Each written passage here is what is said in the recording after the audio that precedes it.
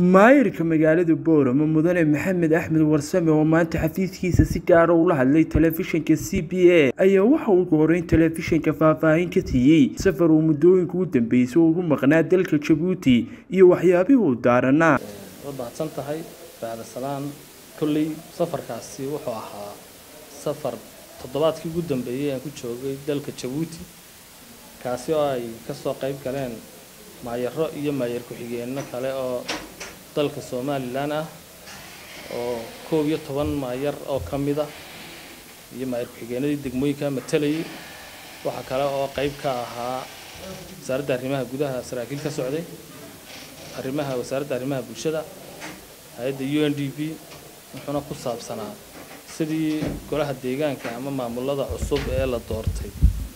Aqoon isweydaarsi iyo hogaaminta suuban taasi oo ay ujeedadeeduna ahayd in la horumariyo adeegyada bulshada loo fulinayo iyo hogaamintaasi oo keenaysa in la gaadho halkaynu hiigsanayno oo ah yani boorama ama degmooyin horumarsan in la gaadho haddii lahaydha marka kulankaasi uu soo idlaaday kulan wax ku-ool u ahaa faa'iido badanna u leh kolley maayaradii iyo maayar ku-xigeenadii ka soo qayb galay kulankaas. Gudoomiyaana uu kaaga mahad celinayno waraysiga aadna siisay telefishin ahaan wadooyin baad hadda wadiin saad carabka ku dhuftay wadooyinkaas waa waddada halbowlaha.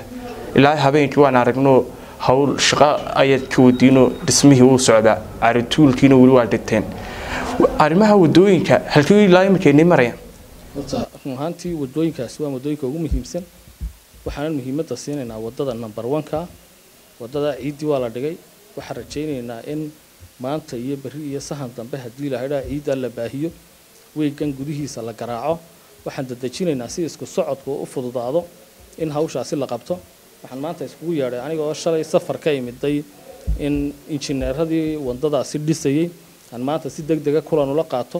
Aanan isla qaadanno in aanu culays ka imanin oo jaam aanay magaaladu gelin. Wadadaana sida ugu dhaqsaha badan le loo furo. Waxaana rajaynayaa maanta iyo berri toole haddii ilaha idhaahdo in wadooyinkaa la furi doono ciiddaa la baahin doono la garaaci doono waxaana rajaynayaa wiigga dambe in haddii ilaaha idhaahdo ay noqon doonto sidii gaamurkii loo saari lahaa inaan ka shaqayno. Sida ugu dhaqso badan bay howlahaasi ku gabagaboobayaan waanan dadaalaynaa haddii ilaaha idhaahdo waraysigani oo dhammaystiran oo dhinacyo badan taabanaya kala soco telefishinka c b a habeen dambe saacadda geeska afrika marka ay tahay sagaalkii barhka abeennimo